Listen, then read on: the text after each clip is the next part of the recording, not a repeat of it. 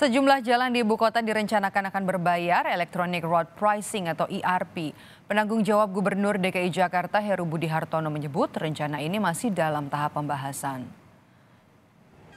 Penjabat Gubernur DKI Jakarta Heru Budi Hartono menyebut rencana jalan berbayar atau ERP masih perlu melakukan forum diskusi dengan para pakar dan tokoh masyarakat. Heru belum bisa memastikan kapan penerapan ERP akan dilaksanakan.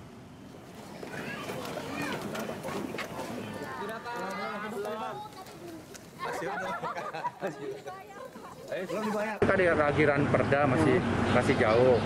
Itu pun masih ada FGD, forum diskusi dengan pakar-pakar, tokoh-tokoh. Ini kita jalan terus ya. Ya masih uh, aturannya dulu di dibahas ya.